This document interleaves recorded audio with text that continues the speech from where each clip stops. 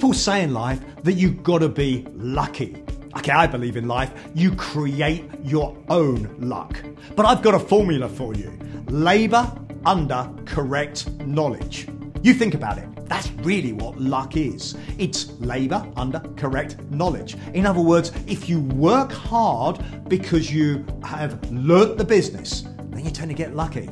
Then you tend to succeed. Create your own luck in life. Work hard under the correct knowledge. If you do that, then they'll call you lucky but you'll be successful and you'll enjoy the fact that people say you're one of the lucky ones. But secretly, you'll know my formula. It was labour under correct knowledge.